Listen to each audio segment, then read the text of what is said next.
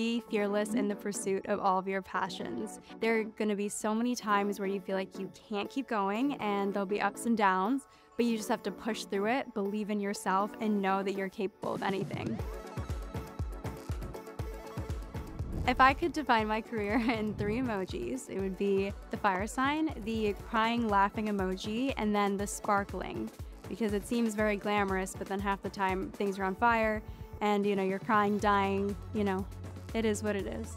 NASDAQ means innovation to me. It means diversity, focusing on companies that are doing cutting edge things that are just needing the support and the capital.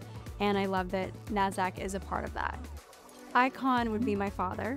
So he's an eye surgeon, and just seeing that level of work really inspired me and showed me that, you know, even when you don't think you can keep going, you know, you see someone just achieve that and you even start to believe in yourself more. So, definitely my father and my mother in different ways. And my mom came here when she was 24 when she married my dad and she, you know, adjusted to a new culture.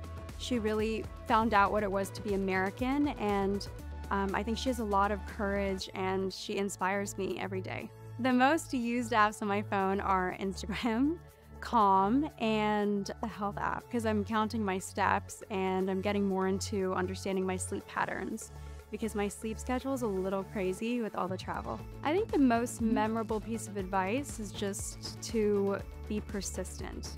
Being persistent can mean a lot of things. It can mean being up really late at night, it can mean when one door closes, you have to fight for another door to be open, but just to really never give up. The biggest risk I've ever taken was launching my own company.